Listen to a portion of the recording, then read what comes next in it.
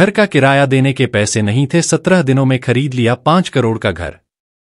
दोस्तों, जय श्री राम, जय बागेश्वर धाम सरकार, जय हनुमान। दोस्तों, अगर आप बागेश्वर धाम सरकार को सच्चे दिल से मानते हैं, उनकी पूजा करते हैं तो नीचे कमेंट बॉक्स में लिखें, जय श्री राम, जय बागेश्वर धाम सरकार ज़रूर लिखें, जिससे कि आपकी हर मनोकामना जल्दी जल्दी पूरी हो जाए। किराया देने के पैसे नहीं थे, लेकिन सत्रह दिनों में ही खरीद लिया पाँच करोड़ रुपए का घर। बस एक दिन करना होगा, यह एक काम। दोस्तों, आज का यह उपाय बहुत ही ज़्यादा सटीक होने वाला है, इसलिए इस उपाय को अच्छी तरह से आप समझ लेना। इस उपाय को करने से एक सौ परसेंट अच्छा।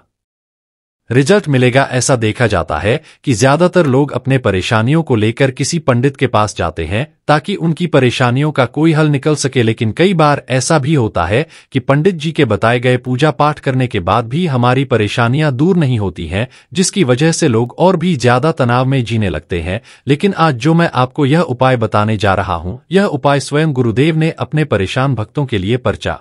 बनाकर बताया है और इस बताए गए उपाय को मैं आज आपके साथ शेयर करने वाला हूँ इस उपाय को करने के लिए।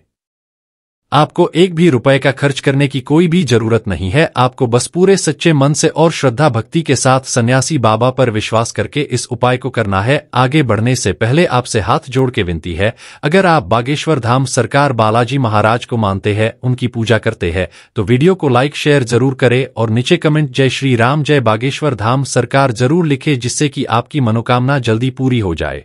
नंबर एक आपको अपने घर में उस स्थान को ढूंढना है, जहाँ से चीटियाँ या चीते बाहर निकलते हो जिस जगह से। चीटियाँ बाहर निकलते हैं, इसे कीड़ी नगर कहा जाता है।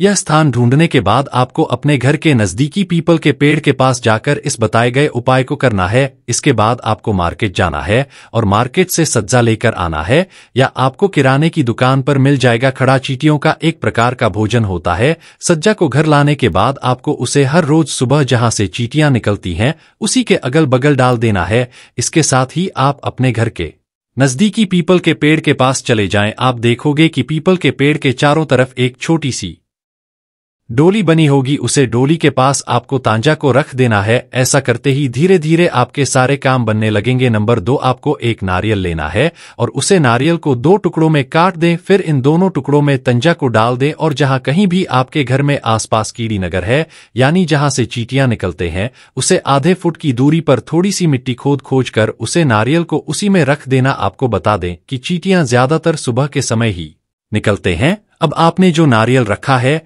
उसमें तंजा के साथ आर एस व का सिक्का रख दें। और उसे मिट्टी में दबा दें। इस बात का विशेष ध्यान रखें कि आपको यह उपाय कीड़ी नगर के निकलने से पहले करना है। आप देखोगे कि जहाँ पर आप या नारियल दबाए होंगे, वहीं से कीड़ी नगर निकलना शुरू हो जाएगा और जैसे जैसे चीटियाँ इसे खाती जाएगी, वैसे ही आपकी तरक्की के सारे रास्ते खुलते चले जाएँगे। यह एक रामबाण और चमत्कारी उपाय है और इसे करना बहुत ही आसान है। यह उपाय मैं गुरुजी की कथा सुनकर बताई है। जब व्यापार में आपको किसी की सहायता चाहिए, किसी देवता की ज़रूर पड़ती है, वो है, भगवान गणेश भगवान गणेश जी का आपको आशीर्वाद। मिल जाएगा तो आपके जीवन में आपका व्यापार भी अच्छा चलेगा और आप बहुत ही उन्नति भी करेंगे। अपने व्यापार के साथ आपको बस यही करना है कि बुधवार के दिन गणेश भगवान जी के मंदिर जाना है। गणेश भगवान जी के समक्ष आपको गे के दूध से बना हुआ घी का दीपक जालना है या किसी भी बुधवार को आप कर सकते हैं। और आपको एक लाल पोटली लेकर के जानी है।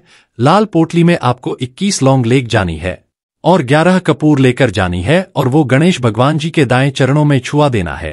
पोटली को आपको लेकर के आना है अपनी दुकान में मिट्टी के बर्तन। में या पीतल के बर्तन में इसको जालना है और इसका पूरा दुआ पूरी दुकान में दिखाना है, जिससे आपकी दुकान में जो नज़र लगी थी वंदन था। वो खत्म हो जाएगा इस रात के चीते आपको अपनी दुकान पर लगभग दो हफ़्ते अपनी दुकान के प्रवेश द्वारा पर करने इतना अगर आपने कर दिया तो गणेश भगवान जी के आशीर्वाद से आपका बैंड पड़ा व्यापार पर चल पड़ेगा और दोस्तों आप लोग बहुत उन्नति करेंगे आखिरी उपाय है। धन प्रताप का माँ उपाय यह उपाय जो भी व्यक्ति करता है, उसको माता लक्ष्मी जी का हर वरदान, हर आशीर्वाद मिलता है, जिसके बाद उसके जीवन।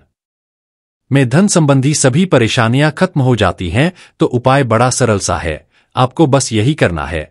दोस्तों, शुक्रवार के दिन ध्यान रखिएगा, शुक्रवार के दिन और यह लगातार पाँच शुक्रवार आपको उपाय करना है।